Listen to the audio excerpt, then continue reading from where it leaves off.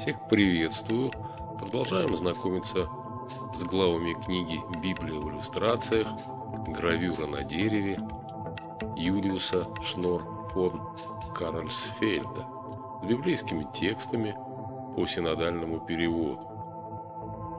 Прибытие Павла в Рим. Потом пошли в Рим. Тамошние братья, услышав о нас, вышли нам навстречу до Апиевой площади и трех гостиниц. Увидев их, Павел возблагодарил Бога и ободрился. Когда же пришли мы в Рим, то сотник передал узников военачальнику, а Павлу позволено жить особо, с воином, стерегущим его.